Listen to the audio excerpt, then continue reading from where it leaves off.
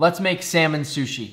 Yeah, no, that makes sense. This right here is a beautiful king salmon, and it's fresh out of the cold waters of Canada. You already know it's time to cook this baby up.